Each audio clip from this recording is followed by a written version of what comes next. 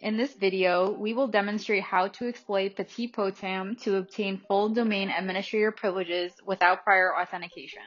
Firstly, we need to ensure that NTLM RelayX is set up to relay to the ADCS web enrollment page.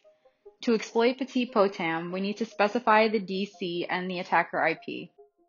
Once Petit Potam has been successfully exploited, the credentials will be relayed to the ADCS server where certificate will be enrolled. Now enrolled, we can use this certificate to obtain a TGT. We have successfully authenticated with a domain.